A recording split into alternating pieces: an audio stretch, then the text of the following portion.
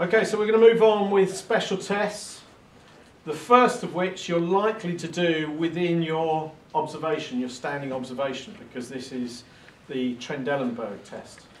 So what we'll do, if you could just stand facing the window, please. Some of you guys can watch this. What we'll do is ask our client, so Jodie, could you just take your right foot off the floor, please? And you need to just bend your knees, that's it. Okay. And what we need to do is observe from behind and see that we get a normal pelvic tilt. So a normal pelvic tilt will involve this side coming up to allow the foot to come off the floor. And that is facilitated by glute medius on this side contracting to pull the pelvis in that direction. So, you put your foot down again? and now show us your left foot coming off the floor. Okay, so you can see there was a slight tilt there, um, the way that it should be. And put that down, we'll just have another check on the right side. Yeah, so that's lifting slightly, okay? So if it's weak, what will happen is that as Jodie takes her foot off the floor, this side will actually drop a little bit, okay? Uh, and it may be very subtle to observe. You may actually see it see, stay almost level or drop.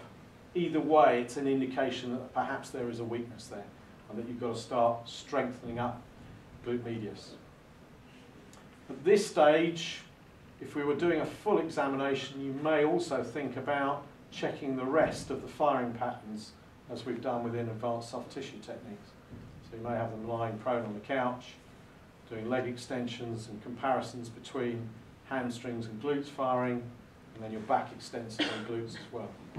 Because if there's a weakness in glute med, the chances are the imbalance may have transferred elsewhere as well. Okay? Okay, let's just move the couch back in this direction. If you could lie, uh, head that end face up, please. Okay.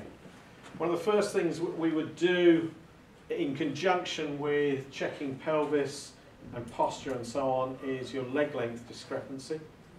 So once again, you would take your client, just draw the two medial malleoli together, just gently stretch the legs to try and make sure that the pelvis is nicely aligned, and then we'll move up and just check with thumbs over ASISs to make sure that that alignment is pretty level from this position.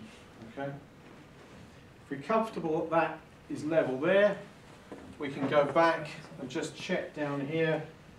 Now we draw the two medial malleoli together with your thumbs placed over each and just have a look at your thumbs and see if there's any discrepancy there, which will give you an indication that one limb may be longer than the other. Okay? Now this is an observed leg length discrepancy. As we said before, if you want to be completely accurate about this, you will need to measure from bony prominence to bony prominence. And we would go from ASIS usually down to the medial malleolus. But if the shape of the limb is such that you're not getting a very good line there, you may go to the lateral malleolus, as long as you're consistent. And then you'll compare the measurement with the opposite limb.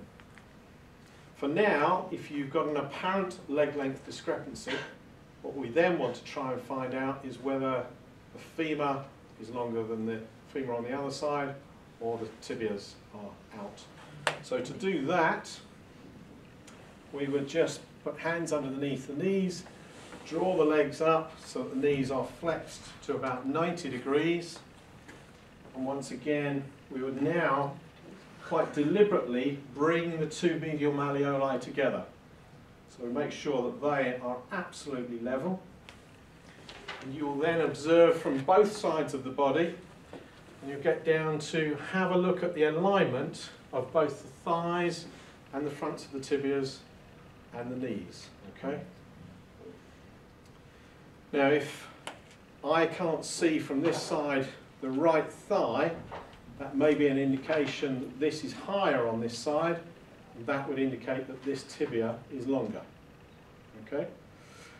It's always worthwhile going around to the other side to check. So if I suspected that was the case from that side, I should be able to see more of this thigh and, and not much of that. Okay? Similarly, if one of the femurs is longer, then you will see the tibia uh, being more pronounced on that side. And of course, again, you'll see that more from one side than the other. Okay? So that will establish any leg length discrepancies and that may add into your assessment if there's a lateral tilt there as well. Yeah? How do you know which angle you're meant to look at? Like, Which angle? uh, like where you're meant to look at the leg to see if you can see the other one? Uh, do it from both sides to make sure, because sometimes you'll look from one side and you'll think, oh yeah, I can see more thigh from that side. You go around to the other side and you think, hang on a minute, I can now see more from the opposite side. So it makes you correct the way that you're actually observing. But if there's a discrepancy there, it's, it's normally, if, it, if there's enough of a discrepancy, it's normally quite obvious. Yeah? Am I making sense? Does that answer your question? Okay.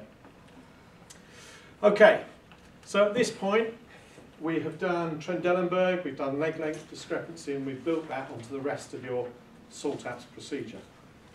If we now, with Jody lying supine, do some more tests, the first that I would do would be passive circumduction, and this would be checking for any joint lesion deep within the actual ball and socket joint of the hip. To do this, you would pick up the limb like so, so you'll flex the knee first of all, and then we're going to change hand positions. So I've got underneath the heel, and then on the front part of the knee like so. Because what I'm going to do with this passive circumduction is to try and push the femur into that joint at the same time as I'm circumducting. And I may feel a grinding sensation or something like that, but most of all, I'm trying to see whether this elicits any discomfort or not. The extent of the circumduction that I can do will depend on me maintaining pressure into that joint. So from here, I'm going to move around, I'm now pulling the femur into that socket. And as I come around to the near side, I'm pushing again. And I go all the way around at least once, and I always go back in the other direction as well. Okay? So that's your passive circumduction. All right? Any questions on that? Okay. If we now move on to Faber's test, Faber's, if you remember, uh, is a combination of joint actions. So you have hip flexion, abduction, and external rotation, which spells out Faber for you. So it's basically a figure of four position.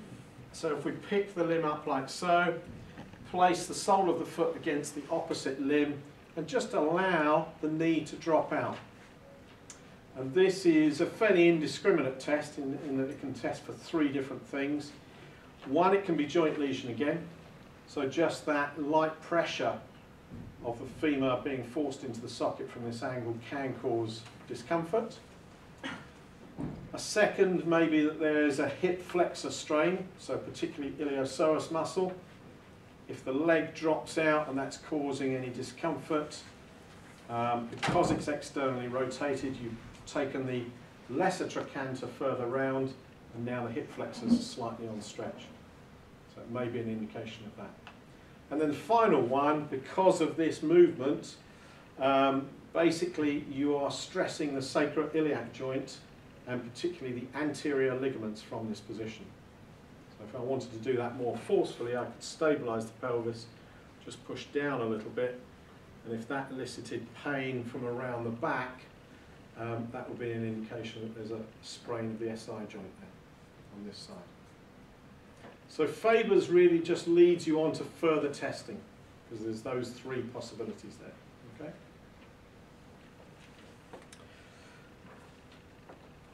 From here, you might move on and do Thomas and Kendall test, and I'll assume that you all know how to do those. That's where you're standing the client against the end of the couch, rolling them back and checking for the length of your iliopsoas muscles. And of course, whilst they're in that position, you can find indications for type ITB. If the leg is abducted, possibly tight piriformis or lateral hamstrings if the foot is externally rotated. There are suggestions that it could also be sartorius, but it's quite rare that that one is tight as it is the longest muscle in the body, so we don't tend to include that one. Okay? So moving on, whilst the client is supine, we can now do what we call an anterior distraction test. So we've just partially tested for sacroiliac ligaments, and particularly the anterior ligaments. So what we do now is find the ASISs, and once we're comfortable that we're on those bony prominences, we swap hands over, we rest the heel of the hand, pushing down and outwards on one side, and the same on the opposite side, and then we just give a gentle downwards and outwards kind of shunt, and have a little look at the client's face just to make sure that there's no response there, and you can push a little bit harder on the second go, just to check the integrity of those particular ligaments. And again, just remember this is moving the, the two ilia outwards like that, so the pain will be felt around the back region. Okay? If we now turn you onto your side, if you can face April over there, please, we're going to do what we call a modified Ober's test to check for ITB length. So Jody's got into a comfortable position. Um, yeah, if you want to put that sort of hand down, that's, that's, under your head. That's it. Good. And use this hand just to hold onto the couch, please. Steady yourself. Okay, so that's a nice stable position. We can have a look at the torso and make sure it's not too rotated. The aim here is going to get, be to get this femur directly in line with the torso, so we don't want that too twisted. The lower leg has got to stabilise but be out of the way for this particular test. So Jodie's is already flexed at the knee, that's ideal, and I can see from the alignment that it will be out of the way when I'm ready, ready to test. Adjust the height of the couch here because you're going to get into a kind of squat position and you don't want to get too low for this. So just bring your client up. And what I'm then going to do is take this limb and start by just clamping the ankle underneath my armpit so I've got most of the control from there. Okay? I support underneath the knee and I also support the pelvis here just to make sure that that's not uh, either rocking too far forwards or backwards and I keep that again aligned with the back.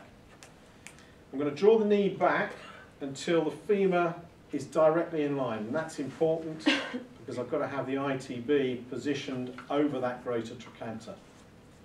And the whole idea is that when I release the pressure on the knee, the length of the ITB is measured by how far the knee drops. If I flex the hip, the band will drop in front of the greater trochanter and then you won't get a true test and the same with extension. So that's aligned in a nice straight line. The idea of you squatting down is to make sure that the ankle is level with the hip joint. If I stand tall, then the knee's not going to drop, drop very far. Once I'm sure of all of those positions, I just take the pressure away from underneath the knee and see how far towards the couch it goes. The other test I can do is just push to see if it bounces, and that's the resistance of the ITB. If, it's, if she's guarding with muscular control there, you won't get that telltale bounce that's going on. And obviously, the nearer towards the couch that is, the more flexible Jodie is in her ITB on that side. Okay? Any questions on that? Could you continue turning over onto your front, please? Okay. Um, apart from checking piriformis length and other muscle lengths, so from here you can do the knees flex, leg dropping out to see length of piriformis. Uh, we would do a posterior distraction test, or Hibbs test as it's known. Similar to on the front, you're going to find the PSISs. And once again, heel pressure over both sides, just push downwards and outwards, this time checking for the posterior ligaments on the sacroiliac joint. And any pain or discomfort there will show you that that's, there's a problem. And a second way of testing that is to just put your hand over the sacrum, just make sure you're in the middle there, and do almost like a chest compression in first aid, just a little push downwards, and that too will be another way of checking for SI joint posterior ligaments. Okay? We're not asking you to do it within this assessment, but if you were to bring in other ASTT assessments, you might be checking firing patterns. You might also, for neurological problems, be checking slump test and straight leg raise. Okay? But that, for the moment, completes special tests. Anybody have any questions? If you say miss one of the tests in the exam, would you be marked down?